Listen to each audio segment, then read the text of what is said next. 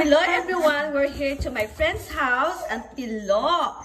He has a friend and she, she wants to play with Pilo but Pilo just stuck in the chair. Pilo don't want to play Pilo. He said, I'm behaving, mommy. Ito nga nga.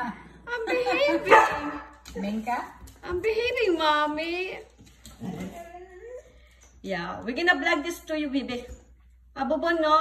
At? Bakit yun yung sasabi niya? Oh, nagbablog ako. Ibala ka Ah. dyan. Ano? Look at that.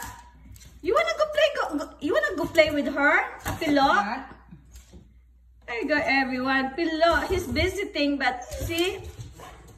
The new friend wants to play with pillow, but pillow, look at pillow. Pillow like, ah, no, don't do that pillow. Ay. Okay. Smile now. Smile. Ah. Yeah.